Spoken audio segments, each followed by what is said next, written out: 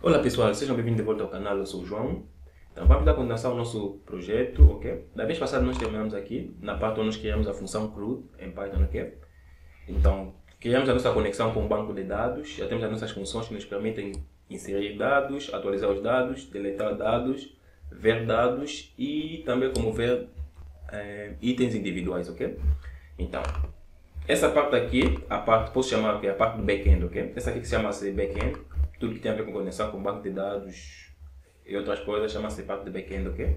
Já terminamos agora. Vamos começar, é a parte gráfica, ok? Vamos desenhar esse senhor aqui, ok? Vamos começar a desenhar o nosso, o nosso aplicativo, ok? A parte gráfica. Então, primeiramente, o que vamos criar é uma janela vazia, ok? Como podemos ver aqui. Mas, como sempre, ok? Antes de tudo, como eu tinha dito, para quem quiser dar continuação do projeto sem ter que depender de mim, ok? Sem ter que esperar que eu lance um novo vídeo, tem aqui o guia, ok? Que ensina como você pode criar esse mesmo aplicativo, ok? Ensina passo a passo de como você pode criar, ok? Então, quem quiser adquirir isso aqui, veja simplesmente o link na descrição. Ou então, pode ir no nosso website do canal. Também tem o mesmo projeto, está lá, está lá postado. Então, você pode ir lá, pode fazer leitura, caso também tiver alguma dúvida, simplesmente comenta que eu estarei lá também para poder ajudar, ok? O site é www.usandopai.com. O link também está na descrição do vídeo. Ok, muito bem. Então, voltando ao que nos interessa, ok? Como eu disse, vamos criar agora a parte, uh, a parte gráfica do nosso projeto, ok? Que posso assim dizer o front-end do projeto, onde nós vamos ter o seguinte, ok? Vamos lá ver. Vamos começar primeiramente criando essa janela vazia. Então, que eu vou fazer o seguinte, ok? Aqui eu vou criar um novo ficheiro Python, ok? É, é, ou melhor, já criei, que é esse aqui, o main.py. E como eu sempre faço em todos os meus projetos, okay? para evitar perdermos tanto tempo com a parte do desenho, acredite, se você está a fazer esse projeto, então quer dizer que você já, é ex-intermediário em Python, então, ou melhor, já tem um conhecimento de Tkinter. Então, para começar, eu fiz aqui, ok? Aqui eu importei o Tkinter, então, ou melhor, eu importei o Tkinter aqui, as duas coisas mais importantes, essas duas linhas, e aqui eu defini algumas cores que eu vou usar ao longo do projeto, ok? Para evitarmos lutar com, com as cores, ok? Então também não se preocupa, esse, código, esse código aqui, ok? Deixarei na descrição do vídeo para que você também possa copiar e simplesmente dar continuação na parte mais importante, ok? Ok, perfeito então. Sendo isso, vamos começar com o desenho, ok? Vamos criar, vamos criar primeiramente uma janela vazia, ok? Isso vai ser o seguinte. Uh, vamos lá ver. Para criarmos a nossa janela, vou comentar aqui, ok? Eu vou, dizer, vou comentar criando janela, ok? Isso vai ser criando janela. Vou dar zoom para que possam ver. Uh, vou minimizar essa parte aqui para que seja grande, ok? Perfeito. E, então, acho que assim vocês conseguem acompanhar. Ok, perfeito. Então, a primeira coisa que nós vamos criar, vou criar uma variável chamada janela, que eu vou chamar janela. Essa janela será igual a, vou usar o ticket que nós importamos aqui, aqui por cima o ticket. Uh, o ticket vou abrir e fechar, ok? Perfeito. Então, após isso, vou definir o título da nossa janela, se vai ser janela title, title que serve para definirmos o título, ok? Janela ponto title. Eu normalmente o título gosto de deixar vazio, gosto de deixar vazio, ok? Porque acho que fica um pouquinho feio ver vendo o título aqui por cima, aqui. Se aqui já temos o nome do aplicativo, aqui mais tem um título aqui, então acho que fica um pouquinho feio, razão pela qual não gosto de dar título. Deixo mesmo assim vazio. E depois disso vou definir uh, o comprimento, ou melhor, a largura e o comprimento. É mesmo isso, né? Largura e comprimento. Oh, largura e altura do, do aplicativo é comprimento, ok? Então isso será geometry, ok? Janela.geometry, tenho aqui, vou abrir e fechar. O primeiro serve para a, a largura, ok? Então vou dar uma largura de 900, isso é 9000. Depois eu vou pôr o, o X aqui no meio e vou dar um comprimento, ou melhor, uma altura de 600, ok? Faço isso e salvo. Após isso, vou, é, irei configurar também o, back, o background do, da janela, ok? Vou meter janela, hum, janela ponto, ok? Configure, com, como se chama? Configure, tá aqui, config,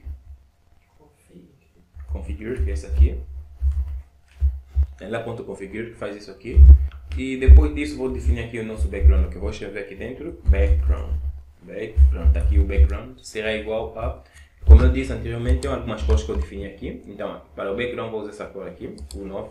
Então, aqui os nomes, acho que a partir daqui os nomes estão errados, ok? Mas daqui em cima estão certo aqui. Esqueci que cor, é- que cor é realmente esta aqui. Então, não se preocupe muito com o nome que está aqui em frente, ok? Esse azul deve ser azul, mas aqui nos verdes, não sei.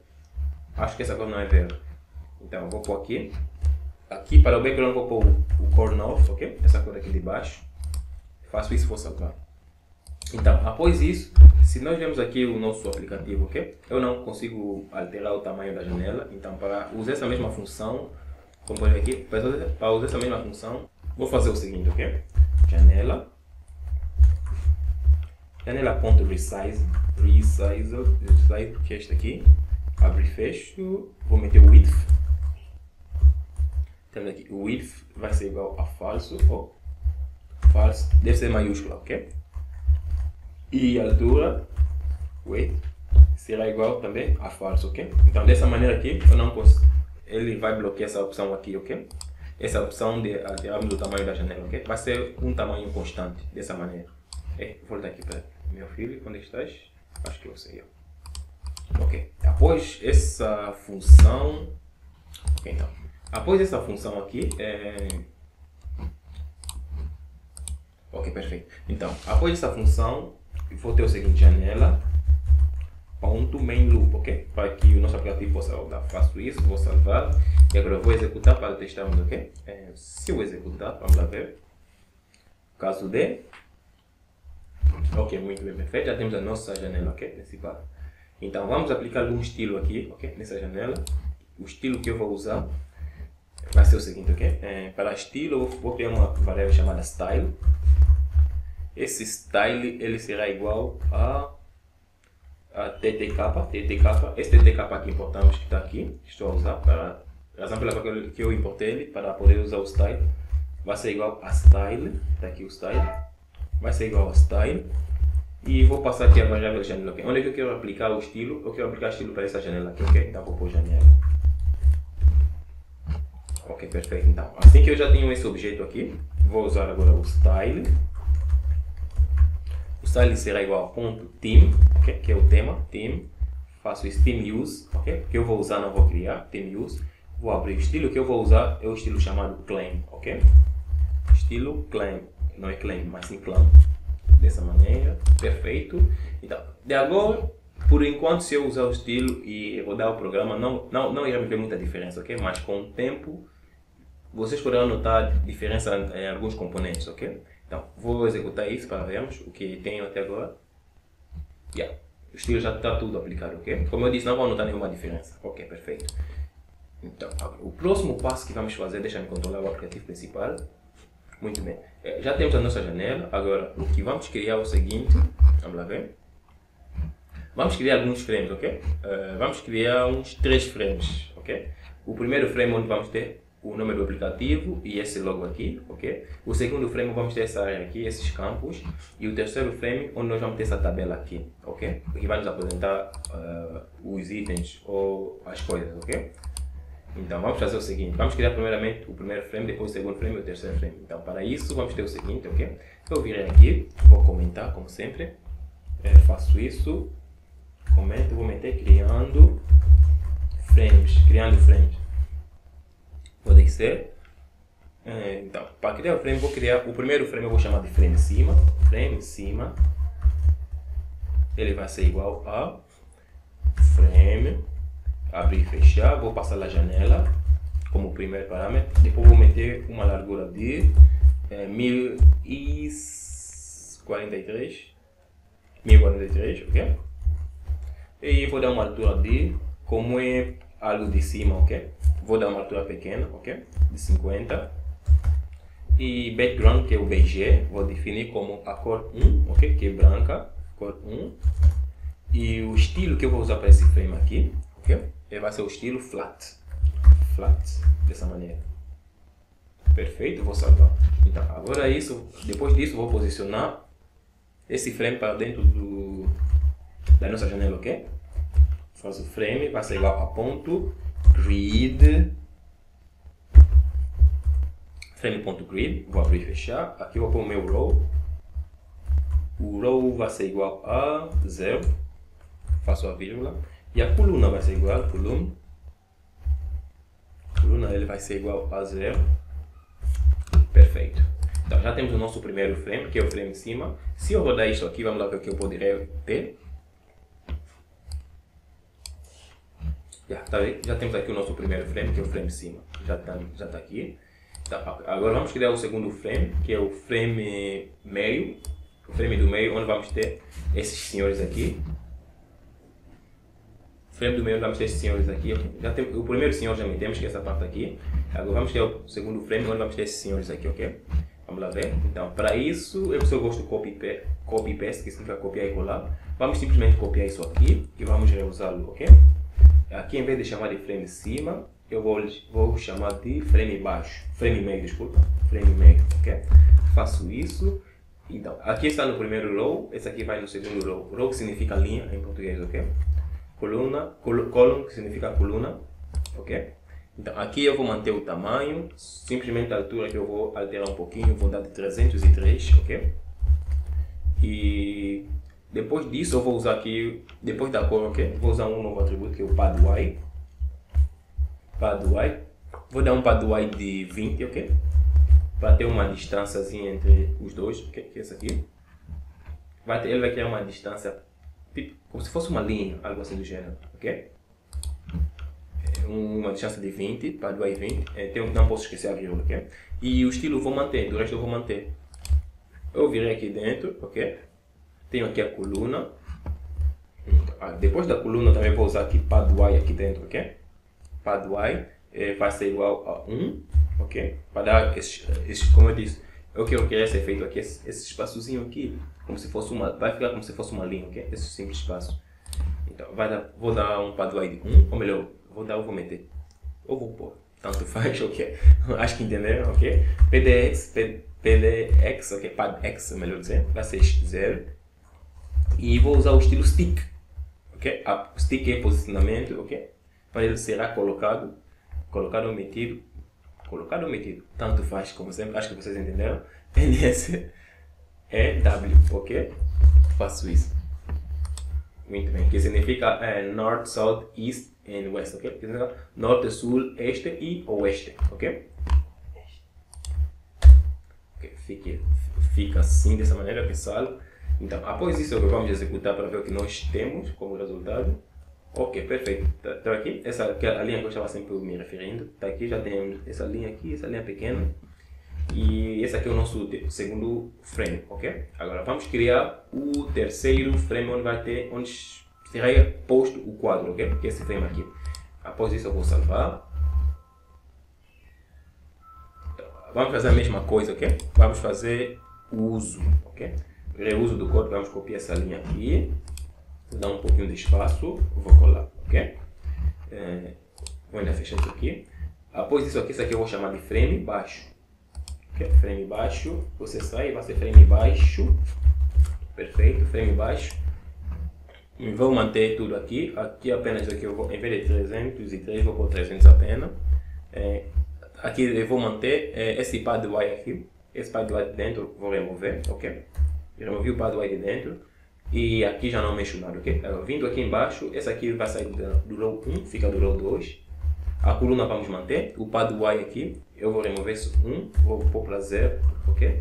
O pad X, eu vou remover esse senhor aqui, vou pôr 1, ok? E o stick, vou manter, ok? Após isso, vou executar para vermos o que vamos ter, ok? Vamos lá ver. Se eu executar,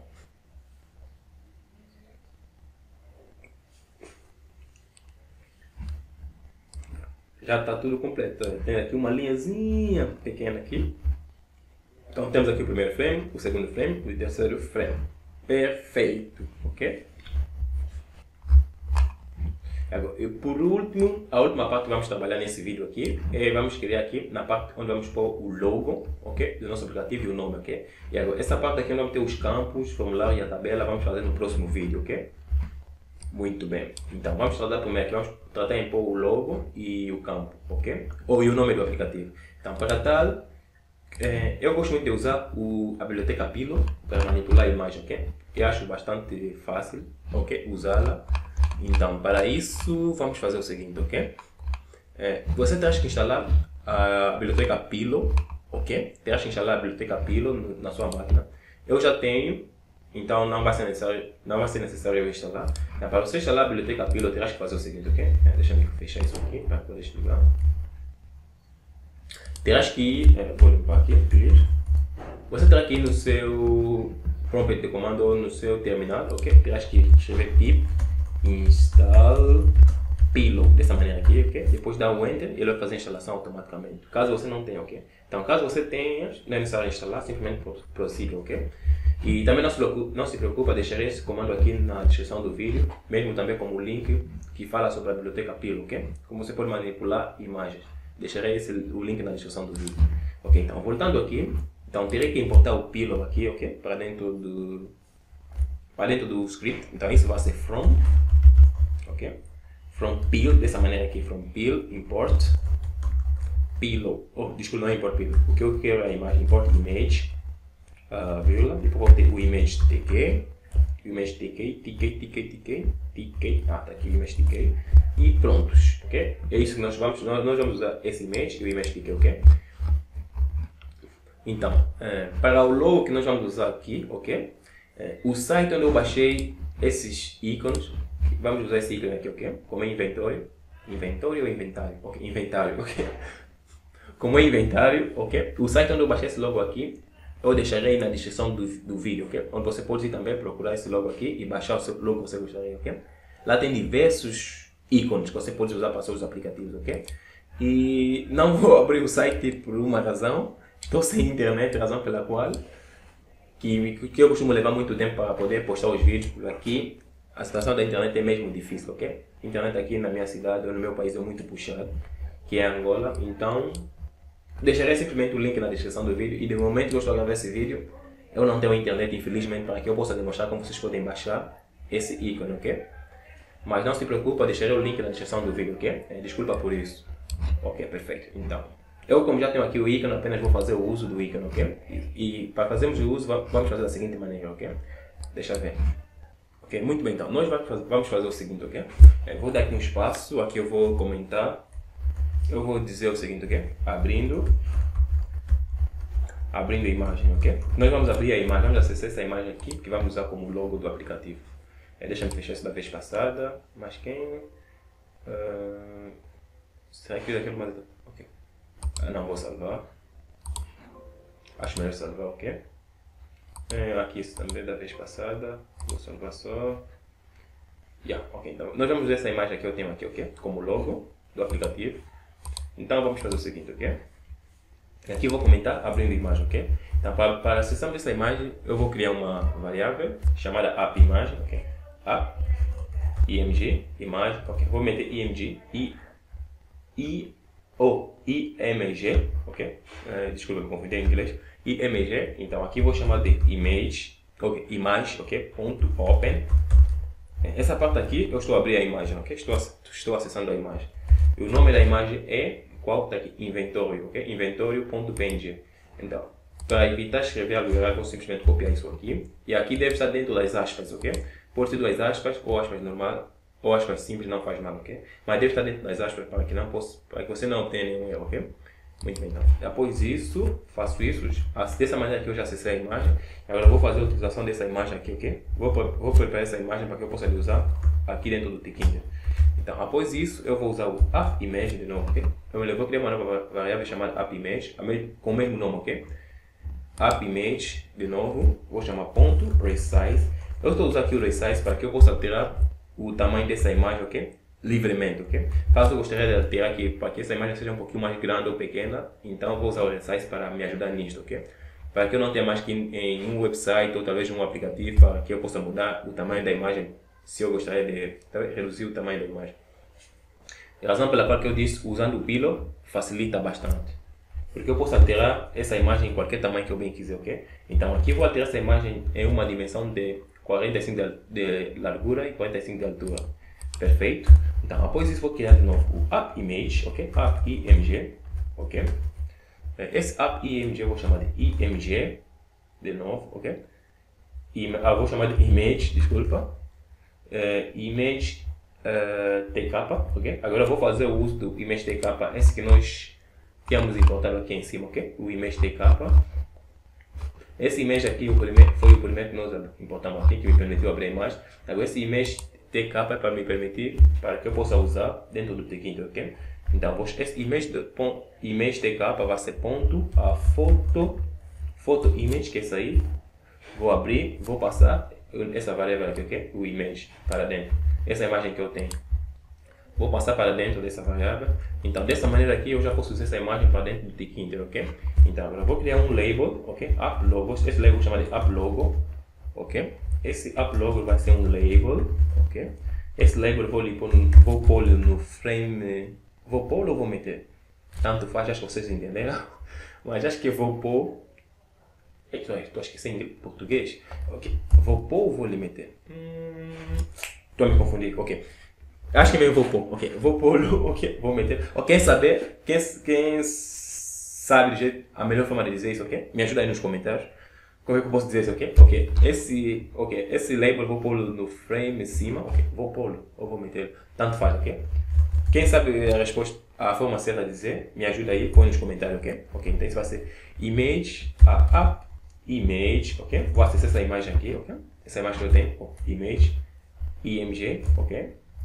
Vírgula, o texto, é, o texto, não é texto, mas teste. O texto vai ser o seguinte, ok? Vou chamar de inventório, vou dar um, vou, é, fique, fique muito atento nessa parte aqui, ok? Eu aqui estou dando um espaçozinho, ok? Aquilo estava assim, eu dei um pouquinho de espaço e depois vou chegar inventário, inventário, inventário doméstico, doméstico.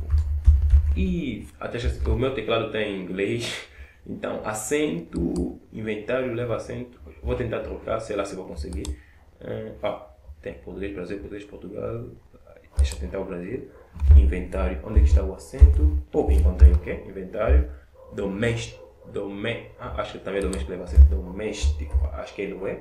Domé, é, doméstico, não doméstico. Ah, ok. Doméstico também leva acento. Ok, consegui pôr os acentos.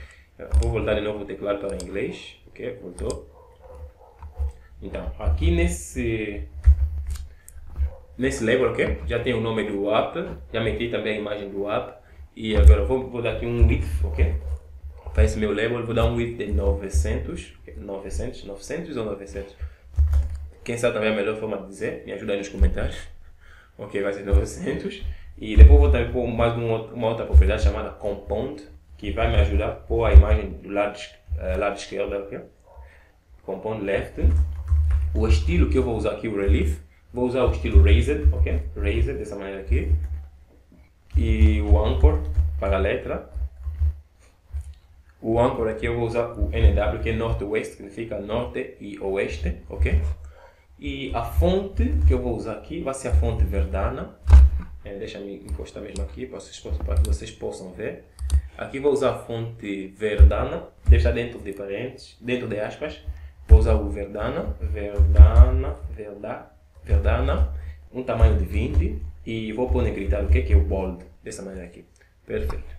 Então, após isso, vou pôr aqui o meu vírgula, a minha vírgula, não é meu vírgula, sim, minha vírgula. É, ok. E o BG, o BG vai ser cor 1, que é o fundo, ok? A cor do fundo. Vou pôr cor 1. E FG, que é, que é a cor da letra, vou pôr cor 4, que é cor preta, ok? Cor 4. Essas cores, como eu disse, definimos lá em cima, ok? Ok, após isso, perfeito.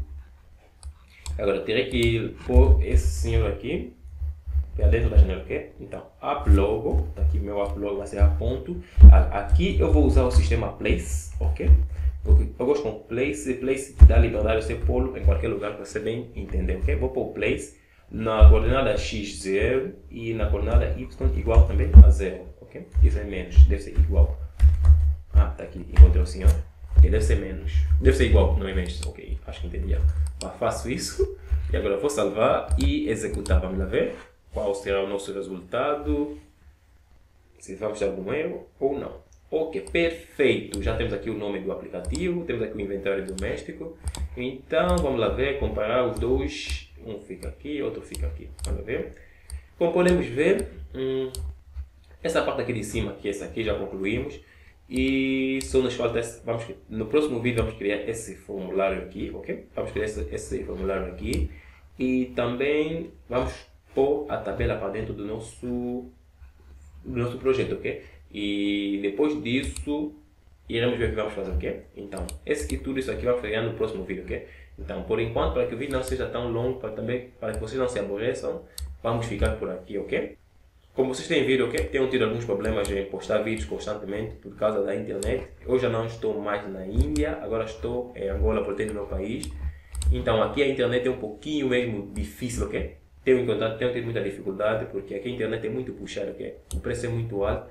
Então, razão pela qual que tenho atrasado muito para que eu possa postar vídeos, ok? É, como eu disse anteriormente, eu não sou trabalhador, sou estudante, então, do pouco que eu tenho, tento comprar internet para que eu possa tá, continuar com esses trabalhos, continuar com a criação de conteúdos, ok? Então, para quem gostaria de me ajudar, ok? Sei lá, pode doar, ou pode tentar entrar em contato comigo, sei lá, e para que possa me ajudar, pelo menos em questão da internet, porque sendo honesto, sem internet mesmo fica bem difícil para mim, para que eu possa dar continuação aos projetos. Razão pela qual que eu levo às vezes 3 ou 4 dias, talvez numa semana só para poder postar um novo vídeo, ok? Então, ok, não vou ficar aqui a lamentar muito, ok? Mas eu já disse, para quem gostaria de me ajudar, é, tente entrar em contato comigo, ou então vou deixar o número do Pix, ok? Aí na descrição do vídeo. E ok, para que possa me ajudar, assim, para também que eu possa ter internet e continuar com as videoaulas, ok? E caso tenha internet, então será muito mais simples eu poder continuar com as videoaulas, porque tem muitas aulas mesmo que eu planejei, que está, estão a caminho, mas só por questão da internet tenho atrasado bastante os projetos. Então, ok. Como eu disse, quem gostaria de ajudar a fazer uma doação, vou deixar o Pix aqui na descrição do vídeo, ok? Para que vocês possam me ajudar, para quem gostaria de ajudar. E, ok, então vejo-vos no próximo vídeo. Eu sou o João e muito obrigado por assistir o vídeo, ok? Vejo-vos na próxima aula. Fui!